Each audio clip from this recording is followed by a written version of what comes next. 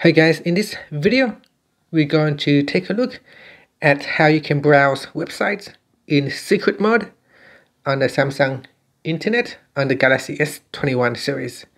First, tap on the home key to go back to your home screen, and then tap on the Samsung Internet app. In here, I'm going to turn off secret mode for now.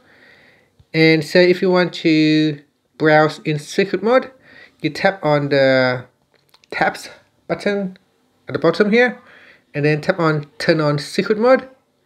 Now because I have already set secret mode with a password or a fingerprint so I now can verify myself to go into secret mode. If you want you can tap on the more button at the top and then tap on secret mode settings.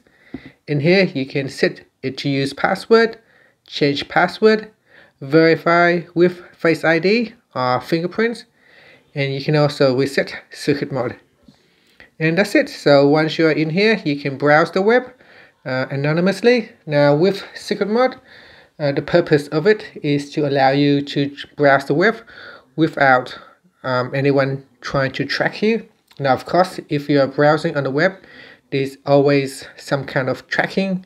For example if you're browsing with Google and if you sign in to your Google account in secret mode then Google will be able to track you. So the purpose is to um, allow to keep uh, people away from you so that while you're browsing um, in secret mode, uh, people don't track you. Secret mode is very similar to incognito. So if you are using Chrome uh, browser, it would be incognito. So it will be the same thing.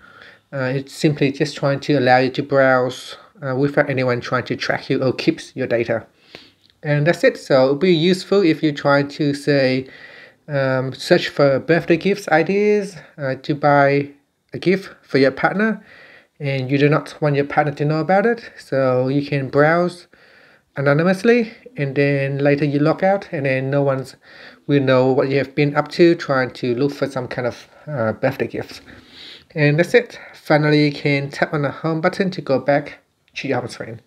Thank you for watching this video Please subscribe to my channel for more videos.